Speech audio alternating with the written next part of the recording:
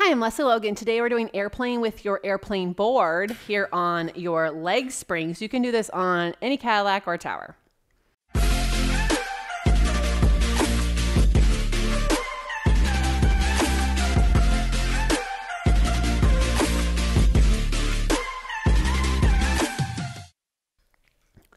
So I really wanted to make sure I added this into the onlinepilatesclasses.com flashcard deck for the Cadillac and Tower because there's only one exercise you do with the airplane board, but it's important that you know it exists because if you are learning airplane, this is a really helpful tool. It, it's actually going to lend itself to helping you with everything on the reformer and on the mat that's in the air and overhead. And so I highly recommend, even though it seems a little weird to just buy something for one exercise.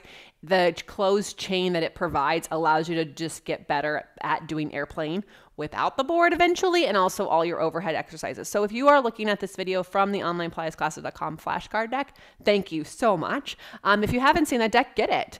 It's all in the links in the below. There's over 110 exercises, all new tutorials, and we also relate them to mat and reformer exercises. So it's easy for you to plan your workouts, progress your practice. So um, you'll need an airplane board for this and some leg springs. Then carefully lie down on your back. You want to be able to be a straight arm's distance away without locking your elbows. And then you'll put your feet in the board parallel. Um, I'm on the balls of my feet. I have seen people do this on the arches. For me, it feels a little weird on the arches. Um, so I do like it on the balls of my feet, but you can do it on the arches because that's where you put the straps anyways. Reach those arms from your back, and then you pull your knees towards your shoulders, hips up over your shoulders. Reach the legs to the sky.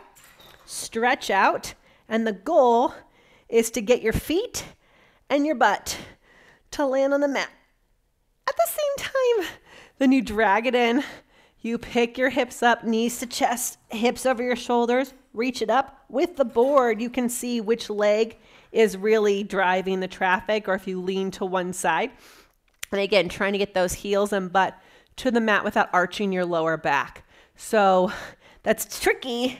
It's tricky, tricky, tricky. You do three in one direction and then you reverse, right? We put those feet down. We drag them along the mat. This is hard. Hips and feet, same time. The springs only pull you part of the way.